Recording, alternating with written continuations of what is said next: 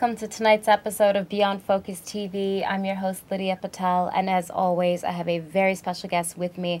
Rhonda Eason is the author of Jaded. She'll be with me for the next 30 minutes, so stay with us. You're watching Beyond Focus TV. Beyond Focus TV allows you to discuss contemporary topics affecting the Caribbean people on both a national and local level.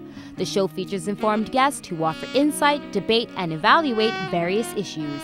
Beyond Focus TV builds on the station's mission to provide useful information to the Caribbean people in New York and abroad. Beyond Focus TV, where our viewing audience can get educated, informed, and empowered. Welcome back. You're watching Beyond Focus TV. I'm Lydia Patel, and I have a great guest with me. If you love to read, if you're looking for the next big read that you're definitely going to want to check out, Rhonda Eason is the author of Jaded. She's with me right here, and it's such a pleasure to have author in the house. Rhonda, welcome to the program. Thank you. Thank you for having me. You're very welcome. Uh, we love to see young people coming up and do different things, especially being an author. It's something so productive. Mm. It's a challenging field. It is has a lot to it. You're bringing a lot to the table, but it could also be very, very daunting as well. So we understand this. Anything that we could do to make it a little bit better, that would be great. Um, so let's dive straight into it. Tell us a little bit about your background before we even get into the book. Let's talk about you as a person. How did sure. this all kind of come about? Sure. Well, my background includes some military experience. Okay. Yes. When I got out of high school, I decided I wanted to be a television reporter and then I decided that the best way to pay for college would be through the military. So I was in the Air Force for six years. I was a security police officer. I carried an M16 gun yes, every day, if you can believe it.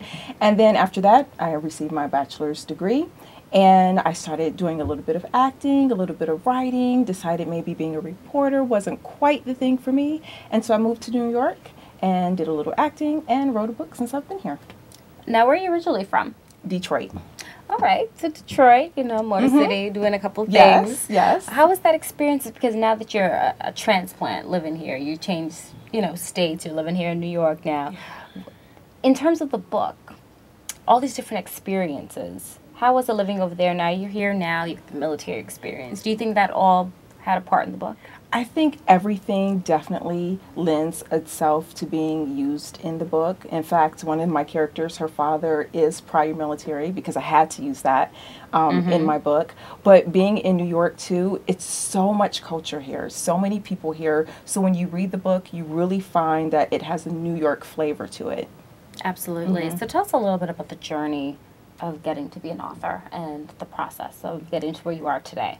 A lot of writing and a lot of reading and a lot of classes. I think one of the things that make a really good writer is to be a really good reader.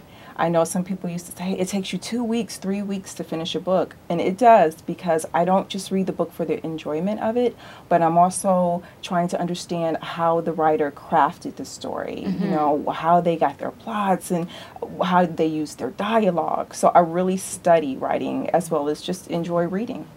And that's important because we, I'm sure we have viewers at home who are thinking about writing the book. They might be in the process of writing a book. But you touched upon something that's really important. You said you took a lot of classes. I did.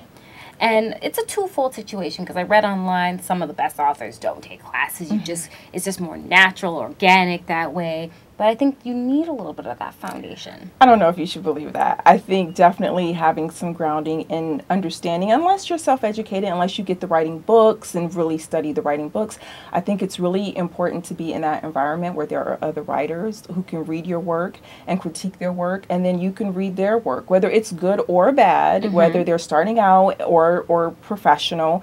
Um, you can learn from it all. So I really encourage classes. It's really great. Now, off camera, you mentioned that you've done some workshops. You've actually still attend workshops, so the learning yes. never stops. Tell yes, us about that. Absolutely. I particularly um, enjoy going to Gotham, um, writingclasses.com, and they have great classes there, but there are places all over New York. Um, and it doesn't have to be a formal college, but formal colleges offer classes too, mm-hmm. continuing education classes where you can learn the craft. Absolutely, which is so important because it is mm-hmm. an art to write a book and make different chapters when mm-hmm. to know when are you going to end one pick mm-hmm. up with another maybe leave that for a little bit go back pick it up a little bit later right to, think, to, to, continue with the sequence right i think a lot of people believe that um, it's just based on talent and it's not it, you can learn how to write well That is great. So let's go straight into the book now. Jaded. Let's talk about Jaded. when did this all start? When did you get the first get the inspiration for the book? Yes, I started writing Jaded probably three years ago. There's this thing in the writing community called NaNo, um, National Novel Writing Month, and that happens every November. So it's about to start now. And the challenge is your own particular challenge is to write a full novel. 50,000 words within one month, 30 days.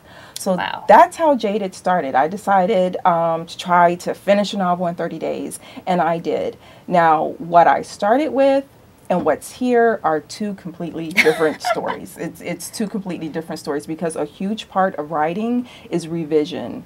And you have to be okay with revising and getting down to who the character really is, which might mean that you have to kill some of your darlings, as we say in the business. Some of the things that you really loved about the character, you might have to get rid of in order to really hone true. in on the story and the message and the um, create the story you're really trying to tell. So it started off basically as a competition Yeah, with myself. with yourself to write this book within 30 days. You did it. I did it. You did. Um, give us a little bit sneak peek because we're going to talk about what this story really is about. But the original, just so we can compare the two. What was in the original that didn't You make the what? cut? I'd love to tell you, but that was three years ago. That was so far away, so long ago, and this story is so much different and it's so much better. I mean, it's really a much better. Do you laugh story. at it when you look back? I You- do. You can. I right? do. I reread it recently, and um, I think it's funny and humorous and um, and bold and fun. Yeah. So give us a synopsis a little bit because we have the readers at home who are definitely we're going to have the book available online. Let you know how you can pick up a copy, of course. Um, but tell us about. It's called Jaded. So what is the story about? So Jaded is a twist on one of the characters in the book, and her name is Jade. The story is about a young woman who is down on her luck, and she gets a great opportunity to work for a New York socialite, and things start looking up for her until she finds out why she was really hired for the job. And that's when things get pretty dicey for her. So ultimately, she has to choose between um, love or money. She has to decide how important her own morality is to her.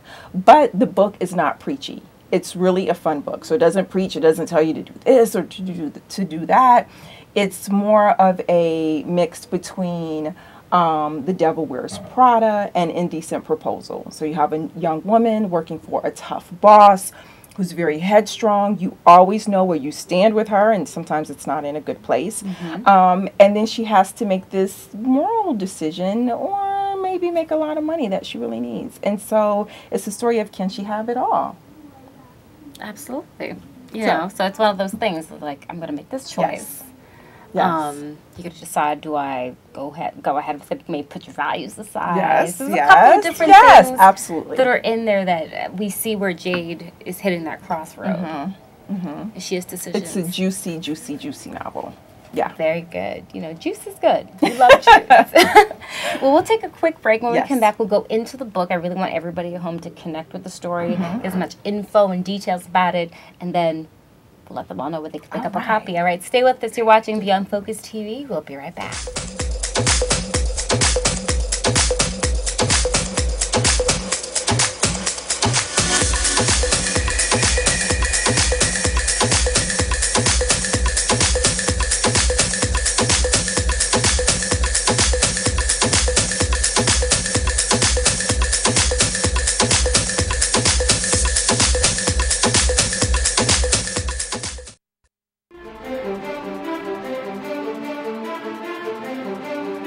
Welcome back. You're watching Beyond Focus TV. I'm Lydia Patel, sitting down here with Rhonda Eason, who is the author of Jaded. And this is a fantastic book because, uh, like we are saying off camera, reminds me a little bit of Scandal. As soon as I saw the cover, I was like, okay, Jaded has that little bit of, and we all know the TV program Scandal. um, So it has that little bit of a feel to it. Yes. So my character Jade, who is the boss in this book, is very tough, and she's very much in the mind of Olivia Pope from Scandal. She's very tough.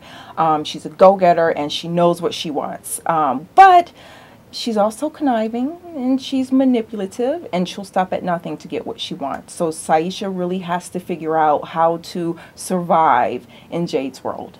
Now, Saisha is basically the the assistant. Yes. Let's go through the story. Yes, yes, yes. Dissect this. This is your world right now. I want to get into the book. So, so Saisha is the main character. We call her Sai, and she is a law school student, but her heart really isn't into it, and she's failing a little bit.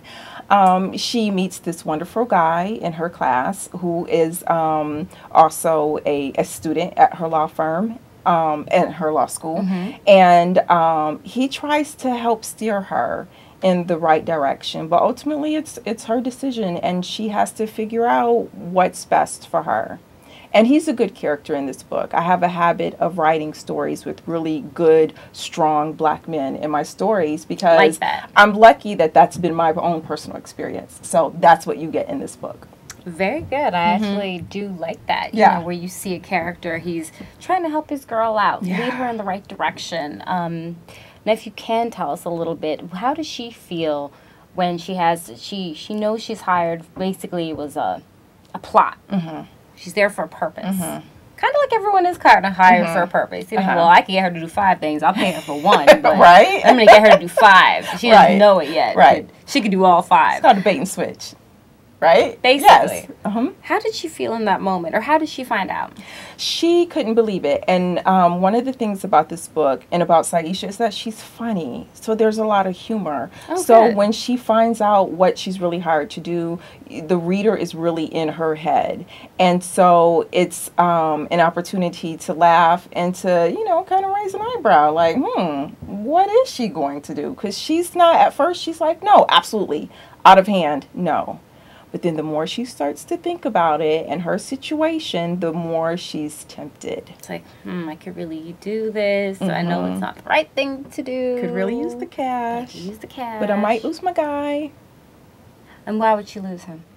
Um, He would be disappointed that she did it. he'd be disappointed and not so sure that he'd want to be with a woman Who would who do would do what she's being asked to do. That's great. Yes. Yes. Oh, the juice. A lot, a lot of juice going on. yes. We're And of course there are subplots and everything else. So there there's a lot going on in the book. So she has to make that decision because ultimately he would be upset. He may not want to stay with her. So she takes a chance and she may lose him altogether. Yes. But she'll be in a powerful position. Yes. if she were to do that, or step back for the money, Mm-hmm. and I mean not take the money, you'll have him. And it's exciting for her because, you know, the thing that I also explore in this book is that New York is a melting pot of people and of different financial backgrounds. And she doesn't come from money. And so now she's in Jade's world. And Jade is a New York socialite. Um, she's married to a very prominent person. She's wealthy. And everybody wants a little bit of that, right? Everyone wants to rub up against that a little bit. And so um, she really, it's also a glamorous book. You know, I could see I could someone, by the cover. I love Lala Anthony, and I can totally see someone like Lala playing playing Jade, you know, being um, devious, but also very glamorous at the same time. Of course, because as um, Jade's assistant, you get to go to all these fancy parties. Oh, You're going the night scene. Right. Be on the video shoots and all sorts of different Mm-hmm. things. So her she's exposed to a lot. Just being surrounding herself by Jade, that Mm-hmm. Yes. opens the opportunity to be with so many other people. Yes. Which is a fantastic opportunity. How does Jade's boyfriend feel I mean, um Saisha's boyfriend feel about her even being exposed to that environment? he's not impressed. You know, he, he's not impressed. He's a down to earth guy who believes in working hard for, for what you get. So it, I guess from the get go, Yeah. the whole job within itself, he would probably much rather her not, not even be there. Not even be there. Just just suffer. Take take a secretarial position, take a temp position and, and just muddle through until something better comes along. Right. Was there ever a little bit of resentment between them as she's kind of trying to explain, listen, I'm trying to make this happen? Oh, yeah, there's drama there. There's some serious drama there. And the reason so, I've been placed, I've been in a relationship where my career, I've been vying for it. Uh-huh. It's like, are you going to sell yourself short? Are you going to lose your respect for yourself? This person just